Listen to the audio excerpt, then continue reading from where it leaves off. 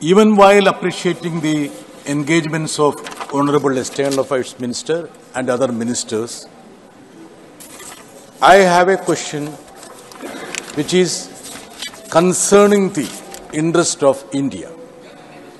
There has been numerous reports in the media that an Indian official has been implicated by the US authorities on account of an alleged attempt to kill a US citizen and it has been widely reported that Indian government is applying, applying its mind and seeing the inputs of the US government the basis for a inquiry.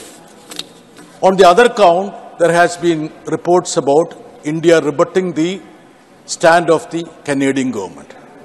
Is it a fact that we are not having a equitable treatment? And what is the status of the charges and allegations raised by the US authority? Thank you. sir. Honor- Honorable Minister.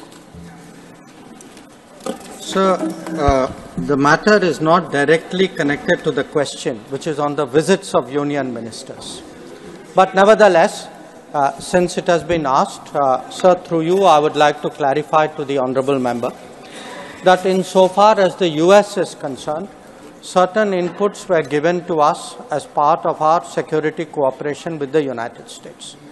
Those inputs were of concern to us because they related to the nexus of organized crime, trafficking, uh, and other matters.